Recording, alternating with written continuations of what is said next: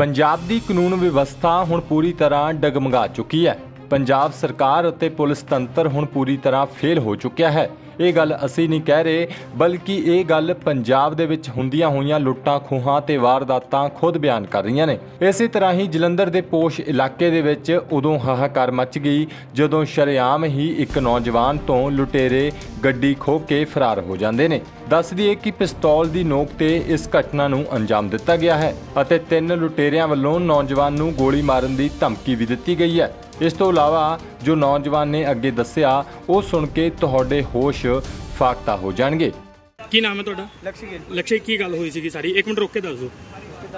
ਤਿੰਨ ਮੁੰਡੇ ਆਏ ਸੀ ਇੱਕ ਸਾਹਮਣੇ ਆ ਰਿਹਾ ਸੀ। ਜੀ। ਹਾਂਜੀ ਹਾਂਜੀ।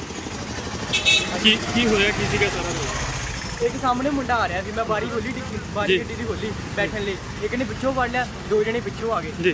ਤੁਸੀਂ ਗੱਡੀ ਕਿੱਥੇ ਲਗਾ ਕੇ ਗਏ ਸੀਗੇ? ਤੁਸੀਂ ਤੁਸੀਂ ਗੱਡੀ ਕਿੱਥੇ ਲਗਾ ਕੇ ਗਏ ਸੀਗੇ? ਕੀ ਨਾਮ ਹੈ ਭਾਈ ਤੁਹਾਡਾ? ਦੱਸ ਦੋ ਦੱਸਣਾ ਪੈਣਾ। ਰਜੇਸ਼।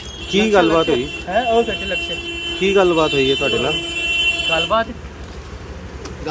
ਸਾਰਾ ਦੱਸ ਦੇਖੋ ਵੇ ਮੈਂ ਇੱਥੇ ਗੱਡੀ ਸਬਜ਼ੀ ਲੈਣ ਆਇਆ ਸੀ। ਇੱਥੇ ਇੱਥੇ ਸਬਜ਼ੀ ਲੈਣ ਆਇਆ ਸਬਜ਼ੀ ਕਿਹੜੀ ਜਗ੍ਹਾ ਤੇ? ਕਮਲ ਢਾਬੇ ਤੋਂ। ਜੀ। ਅੱਛਾ ਜੀ। ਇਹ ਕਿਹੜੀ ਜਗ੍ਹਾ ਪੈਂਦੀ ਹੈ?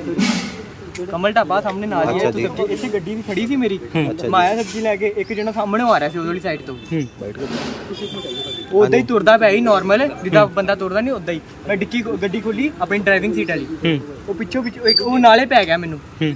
ਫਿਰ ਦੋ ਜਣੇ ਪਿੱਛੋਂ ਵੀ ਆ ਗਏ। ਉਹਨਾਂ ਨੇ ਵੀ ਮੈਨੂੰ ਫੜ ਲਿਆ। ਤੇ ਇੱਕ ਨੇ ਰਿਵਾਲਵਰ ਕੱਢਤੀ। ਹੂੰ। ਉੱਥੇ ਰਿਵਾਲਵਰ ਕੱਢ ਕੇ ਰੱਖਤੀ। ਫਿਰ ਮੇਰੇ ਕੋਲ ਚਾਬੀ ਮੰਗਣ ਲੱਗ ਗਏ। ਫਿਰ ਲੋਡ ਕਰ ਲੋਡ ਕਰ ਲਈ ਉਹਨਾਂ ਨੇ ਫਿਰ ਮੈਂ ਚਾਬੀ ਦੇਤੀ ਫਿਰ ਉਹਨਾਂ ਨੇ ਦੋ ਕੀ ਜਣੇ ਇੱਕ ਜਣਾ ਦੋ ਜਣੇ ਗੱਡੀ ਸਟਾਰਟ ਕਰਨ ਬਹਿ ਗਏ ਤੇ ਤੀਜਾ ਮੈਨੂੰ ਸਾਈਡ ਤੇ ਲੈ ਕੇ ਧੱਕਾ ਮਾਰ ਕੇ ਚਲੇ ਗਿਆ। ਤੁਹਾਡੇ ਨਾਲ ਹੱਥੋਂ ਪਾਈ ਵੀ ਕੀਤੀ ਗਈ ਉਹਨਾਂ ਵੱਲੋਂ? ਹੱਥੋਂ ਭਾਈ ਹਾਂ। ਤੇ ਨੌਜਵਾਨਾਂ ਦੀ ਉਮਰ ਕਿੰਨੀ ਕੁ ਹੋਏਗੀ? ਕੀ ਲੱਗਦਾ 22 ਜੀ ਸਾਲ ਦੇ ਤਾਂ ਹੋਣੇ ਆ। ਪਹਿਰਾਵਾ ਕੀ ਸੀਗਾ ਉਹਨਾਂ ਤੇ? ਨਾਰਮਲ ਜਿੱਦਾਂ ਹੀ ਟੀ-ਸ਼ਰਟ ਤੁਹਾਡੀ ਕੋਈ ਪਹਿਲੋਂ ਕਿਸੇ ਨਾਲ ਰੰਜਿਸ਼ ਵਗੈਰਾ ਤੇ ਨਹੀਂ ਸੀ ਜਾਂ ਕੋਈ ਇਦਾਂ ਦੀ ਕੋਈ ਗੱਲਬਾਤ ਹੋਵੇ ਕੁਝ ਵੀ ਨਹੀਂ। ਕਿ ਕੋਈ ਇਦਾਂ ਦੀ ਸਿਚੁਏਸ਼ਨ ਹੋਵੇ ਕਿ ਜਿਹਦੇ ਕਰਕੇ ਉਹ ਇਹ ਵਾਰਦਾਤ ਨੂੰ ਨਾਮ ਨਹੀਂ ਨਹੀਂ ਦਿੱਤਾ ਕੁਝ ਗਿਆ ਵੀ ਨਹੀਂ ਹੋਇਆ। ਗੱਡੀ ਦਾ ਨੰਬਰ ਕੀ ਸੀਗਾ? ਤੁਸੀਂ ਕਿੱਥੇ ਦੇ ਰਹਿਣ ਵਾਲੇ ਬ੍ਰਦਰ ਆ ਨਾਲ ਹੀ ਡੀਟੀ ਨਗਰ ਨੇ। ਤੁਹਾਡੀ ਗੱਡੀ ਦਾ ਨੰਬਰ ਕੀ ਸੀਗਾ? PB08 DW ਤੇ 44 ਤੇ ਇਸ ਸੰਬੰਧੀ ਫਿਰ ਤੁਸੀਂ ਪੁਲਿਸ ਨੂੰ ਸ਼ਿਕਾਇਤ ਕੀਤੀ? ਹਾਂਜੀ। ਸਭ ਤੋਂ ਪਹਿਲਾਂ ਤੁਸੀਂ ਕਿਹਨੂੰ ਸ਼ਿਕਾਇਤ ਕੀਤੀ? ਕਿਹਨੂੰ ਦੱਸਿਆ ਇਨ- ਪਾਪਾ ਨੇ ਅੱਛਾ। ਫਿਰ ਅਹ, ਕਿੰਨੀ ਦੇਰ ਬਾਅਦ ਪੁਲਿਸ ਮੌਕੇ ਤੇ ਪਹੁੰਚੀ ਔਰ ਸਾਰਾ ਹੋਇਆ? ਅਹ, ਪੁਲਿਸ ਅੱਧੇ ਪੌਣੇ ਘੰਟੇ। ਕੋਈ ਸੀਸੀਟੀਵੀ ਆਈ ਹੈ ਸਾਹਮਣੇ? ਸੀਸੀਟੀਵੀ ਹਾਂਜੀ ਹੈਗੇ ਹੀ ਹੈ ਨਾ। ਨਹੀਂ ਤੁਹਾਡੇ ਕੋਲ ਸੀਸੀਟੀਵੀ ਫੁਟੇਜ ਆਈ ਹੈ? ਨਹੀਂ। ਤੁਸੀਂ ਅੰਦਰ ਚੈੱਕ ਕੀਤੇ ਸੀਸੀਟੀਵੀ ਹਾਂਜੀ, ਫੁਟੇਜ ਉਹਦੇ ਵਿੱਚ ਨਜ਼ਰ ਆ ਰਹੇ ਆ? ਹਾਂਜੀ ਹਾਂਜੀ ਨਜ਼ਰ ਆ ਰਿਹਾ ਆ। ਰਹੇ ਆ ਨਜ਼ਰ? ਕੁਛ ਉਹਦੀ ਤਸਵੀਰਾਂ ਤੁਸੀਂ ਲਈਆਂ ਆਪਣੇ ਕੈਮਰੇ ਨਾਲ ਜਾਂ ਨਹੀਂ ਨਹੀਂ? ਕੈਮਰੇ ਨਾਲ ਕਿੱਥੋਂ? ਮੈਨੂੰ ਉੱਥੇ ਹੀ ਧੱਕਾ ਮਾਰ ਕੇ ਗਿਆ। ਨਹੀਂ ਅੰਦਰ ਤੁਸੀਂ ਸੀਸੀਟੀਵੀ ਕੈਮਰਾ ਜਦੋਂ ਚੈੱਕ ਕੀਤਾ ਉਹਦੀ ਕੋਈ ਤਸਵੀਰ ਜਾਂ ਵੀਡੀਓ ਬਣਵਾਈ ਹੈ ਤੁਸੀਂ? ਨਹੀਂ ਨਹੀਂ। ਥਾਣੇ ਆਇਆ ਉਹਦਾ ਕਹਿਣਾ ਹੈ ਵੀ ਮੈਂ ਸਬਜ਼ੀ ਲੈ ਕੇ ਆ ਰਿਹਾ ਸੀ ਗੱਡੀ ਪਾਰਕ ਸੀ ਮੇਰੀ ਸਵਿਫਟ ਤਾਂ ਤਿੰਨ ਜਣੇ ਪੈਦਲ ਆਏ ਆ। ਉਹਨਾਂ ਨੇ ਉਹਨਾਂ ਨੇ ਮੈਨੂੰ ਕਲਾਵੇ 'ਚ ਲੈ ਲਿਆ ਤੇ ਉਹਨਾਂ ਕੋਲ ਇੱਕ ਕੋਲੇ ਵੈਪਨ ਸੀ ਤੇ ਮੇਰੀ ਗੱਡੀ ਦੀ ਚਾਬੀ ਖੋਹ ਕੇ ਤੇ ਗੱਡੀ ਲੈ ਕੇ ਚਲੇ ਗਏ ਕਿੰਨੇ ਵਜੇ ਦੀ ਘਟਨਾ ਸਰ? ਇਹ ਸਾਡੇ ਕੋਲੇ ਕਿੰਨੇ ਘੱਟ ਆਪਣੇ ਕੋਲੇ ਕਿੰਨੇ ਵਜੇ ਆਇਆ ਇਹ? ਆਪਣੇ ਪੌਣੇ 2 ਵਜੇ।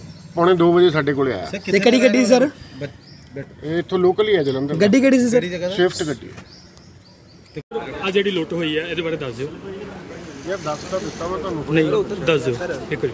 ਸਾਡੇ ਕੋਲੇ ਪੌਣੇ 2 ਵਜੇ ਇੱਕ ਮੁੰਡਾ ਆਇਆ ਲక్ష్ਮਣਾ ਦਾ ਜੀ। ਜਿਹਦਾ ਕਹਿਣਾ ਸੀ ਕਿ ਮੇਰੇ ਤੋਂ ਇੱਕ ਕਾਰ ਖੋਲੀ ਜੀ। ਅਸੀਂ ਸੀਸੀਟੀਵੀ ਫੁਟੇਜ ਦੇਖ ਰਹੇ ਹਾਂ। ਸੀਸੀਟੀਵੀ ਫੁਟੇਜ 'ਚ ਕੋਈ ਵੈਪਨ ਵਗੈਰਾ ਤਾਂ ਨਹੀਂ ਦਿਖ ਰਿਹਾ। ਜੀ। ਪਰ ਆਪਸ 'ਚ ਇਹਦੇ ਜਿਵੇਂ ਗੁੱਥਮ ਗੁੱਥਾ ਹੋਏ ਦਿਖ ਰਿਹਾ ਤੇ ਇਹਦੀ ਗੱਡੀ 'ਚ ਬਹਿ ਕੇ ਇਹਨੂੰ ਪਿੱਛੇ ਨੂੰ ਕਰਤਾ ਤੇ ਇਹਦੀ ਗੱਡੀ। ਕਿਹੜੀ ਜਗ੍ਹਾ ਤੇ ਸਾਰੇ ਲੁੱਟ ਹੋਈ? ਹੈ ਸਰ ਕੋਈ ਕਿਹੜਾ area? ਆਪਸੀ ਕੋਈ ਰੰਜਿਸ਼ ਵਗੈਰਾ ਤਾਂ ਨਹੀਂ ਲੱਗਦੀ? ਪਹਿਲੀ ਕੋਈ ਅਹ, ਪੁੱਛ ਹਜੇ ਅਸੀਂ ਸਾਰੇ ਐਂਗਲ ਜਾਂਚ ਕਰ ਰਹੇ ਹਾਂ ਬ੍ਰਦਰ ਹਜੇ ਤਾਂ ਹੁਣੇ ਇਨਫੋਰਮੇਸ਼ਨ ਆਈ ਹੈ ਅਜੇ ਤਾਂ ਕੈਮਰੇ ਚੈੱਕ ਕਰ ਰਹੇ ਹਾਂ। ਕੋਸ਼ਿਸ਼ ਹੈ ਜਲਦੀ ਜਿਹੜੀ ਸੀਸੀਟੀਵੀ ਕੈਮਰਾ ਚੈੱਕ ਕੀਤਾ ਉਹਦੇ ਵਿੱਚ ਕੋਈ ਪਿਸਟਲ ਵਗੈਰਾ ਨਜ਼ਰ ਨਹੀਂ ਆਈ? ਕੋਈ ਪਿਸਟਲ ਨਹੀਂ ਹੈ। ਪਿਸਟਲ ਨਹੀਂ ਸਰ ਨੌਜਵਾਨ ਕਾਦੇ ਤੇ ਆਏ ਸੀਗੇ?